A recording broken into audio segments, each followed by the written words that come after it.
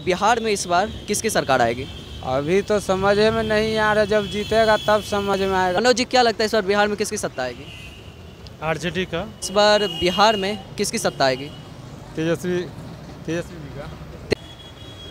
नमस्कार मैं अभिनव स्वागत है आपका डी पीपल वॉइस में। अभी हम आए हैं पटना के गांधी मैदान के पास।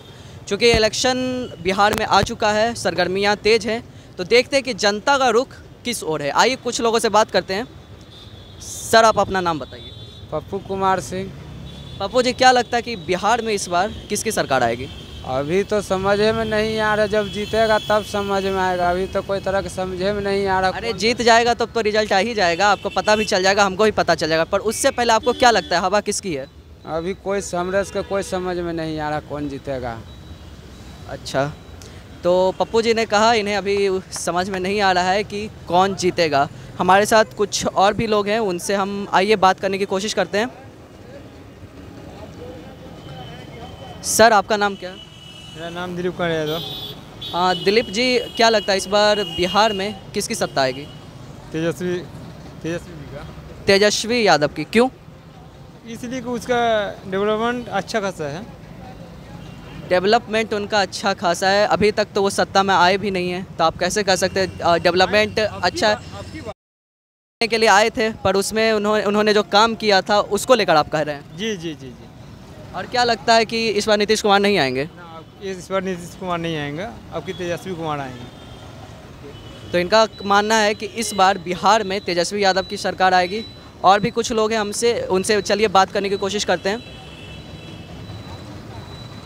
ये चुनाव तो नज़दीक आ गया है। आइए कोशिश करते हैं कुछ और लोगों से उनकी प्रतिक्रिया लेने के लिए वो क्या कहते हैं बिहार के में सत्ता किसकी आ सकती है उसको लेकर? सर आप अपना नाम बताइए। मेरा मनोज नाम हुआ।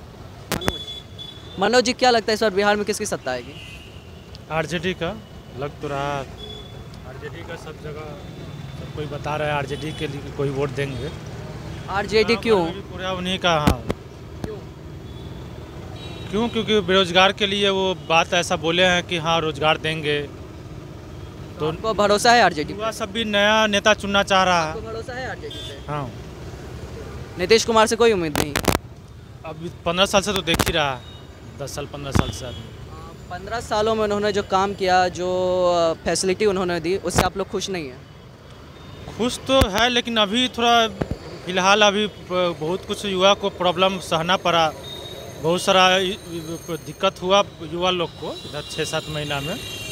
तो उसको लेकर पब्लिक लोग थोड़ा उनसे दुखी है नीतीश कुमार से। अच्छा अ, आप खुद एक युवा हैं आपको क्या मुसीबत किन मुसीबतों का सामना करना पड़ा आपको? वही रोज़गार को लेकर। रोज़गार को लेकर। तो आप देख रहे हैं ये थे मनोज जी जिन्होंने बताया कि बिहार में जो युवा वर्ग है उनको रोज़गार की दिक्कतें आ रही है। ये तो बात बिल्कुल सत्य है और इनका कहना है कि गाँव में भी आरजेडी के ही चर्चे हैं तो लगता है इस बार शायद शायद और नीतीश कुमार सत्ता में ना आए, आरजेडी की सत्ता है, ऐसे ही खबरों के लिए जुड़े रहिए हमारे साथ और देखते रहिए डी पीपल वाइस धन्यवाद।